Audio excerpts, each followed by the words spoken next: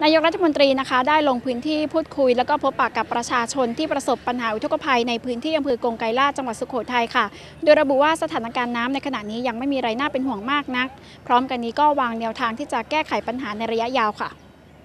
โดยพลเอกประยุจันทร์โอชานายกรัฐมนตรีพลเอกอุดมเดชศรีตบุตรรองผู้บัญชาการทหารบกพร้อมคณะเดินทางมาถึงวัดกงไกรลาชอำเภอกงไกรลาชจังหวัดสุโขทัยในเวลา 15 นาฬิกา โดยมีข้าราชการทหารตำรวจประชาชน ให้การต้อนรับอย่างอบอุ่น โดยต่างปรบมือและมอบดอกกุหลาบให้กำลังใจนายกรัฐมนตรี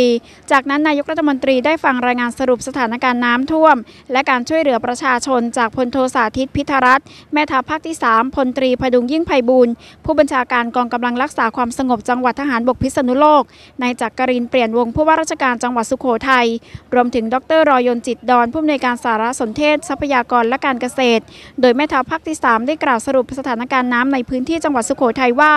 ปัจจุบันระดับน้ำได้ลดลงอย่างต่อเนื่อง แต่ยังคงท่วมพื้นที่การเกษตรของประชาชน 3อำเภอ ประกอบด้วยอำเภอเมืองอำเภอศรีสำโรงและอำเภอกงไกรราช ส่วนแนวทางการแก้ไขปัญหาระยะยาว เตรียมดำเนินการสร้างคลองสาขาจากแม่น้ำยม รวมถึงดูแลการสร้างระบบสาธารณูปโภคไม่ให้ปิดกั้นเส้นทางไหลของน้ำจากนั้นนายกรัฐมนตรีได้กล่าวกับประชาชนว่าประเทศไทยยังมีปัญหาเร่งด่วนที่ต้องแก้ไขหลาย ๆ ด้าน แต่การแก้ไขปัญหาต้องเกิดจากความร่วมมือกันของทุกภาคส่วน พร้อมยืนยันตนเองมีความจริงใจในการเข้ามาแก้ไขปัญหา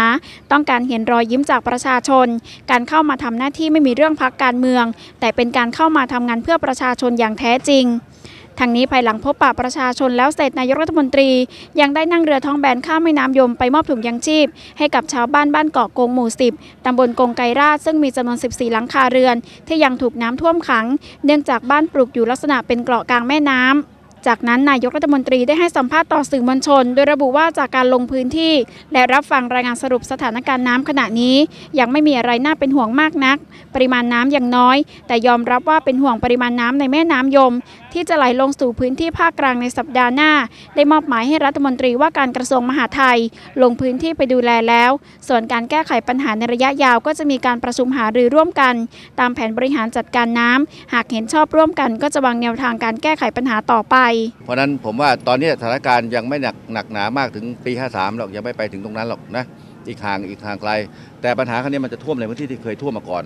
ท่วมทุกปี เพราะเป็นพื้นที่ลุ่มนะฮะแล้วก็การระบายน้ำเส้นทางสายหลักมันไม่ดี ก็ต้องแก้ตรงนี้ให้ได้ก่อนนะ